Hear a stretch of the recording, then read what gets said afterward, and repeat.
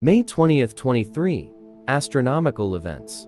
May 5th Penumbral Lunar Eclipse. The moon will pass through the Earth's shadow between 8.15 and 12.32 PDT, creating a penumbral lunar eclipse. The eclipse will be visible in any location where the moon is above the horizon at the time, including Antarctica, Asia, Russia, Africa, and Oceania. A penumbral lunar eclipse occurs when the Earth partially blocks the sun's light from reaching the moon's surface, creating a shadow known as the penumbra.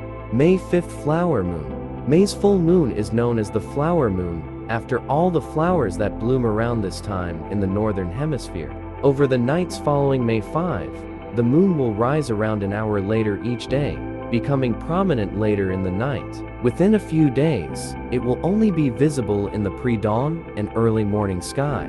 May 6 The Aquariid Meteor Shower The Aquariid meteor shower will be active from April 19th to May 28th, producing its peak rate of meteors around May 6th. Over this period, there will be a chance of seeing Aquariid meteors whenever the shower's radiant point is in the constellation Aquarius. The shower is likely to produce its best displays shortly before dawn, when its radiant point is highest.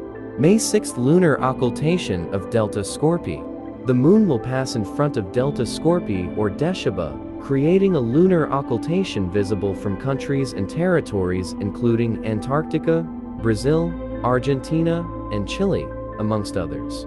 May 8th Venus at its highest altitude in the evening sky. Venus will reach its highest point in the sky in its 2023 evening apparition. It will be shining brightly at magnitude minus 4.3. May 9th Lyrid Meteor Shower.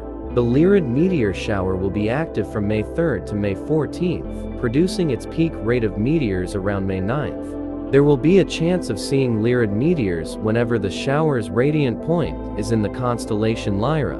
May 13th conjunction of the Moon and Saturn.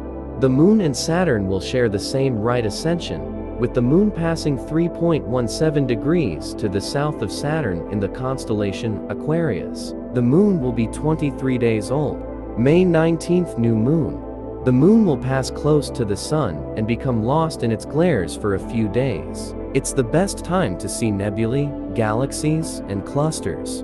May 22 23rds The Moon, Venus, and Mars. The Moon will pass next to Venus and Mars on May 22nd, and between the planets on May 23rd. May 23rd Conjunction of the Moon and Venus. The Moon and Venus will share the same right ascension, with the Moon passing 2.12 degrees to the north of Venus in the constellation Gemini. The Moon will be four days old. May 24th Conjunction of the Moon and Mars. The Moon and Mars will share the same right ascension, with the Moon passing 345 to the north of Mars in the constellation Cancer. The Moon will be five days old. May 29th Mercury at greatest elongation west. Mercury will reach its greatest separation from the Sun in its May June 2023 morning apparition. It will be shining brightly at magnitude 0.4. Thanks for watching. Don't forget to like and subscribe for more monthly astronomical events.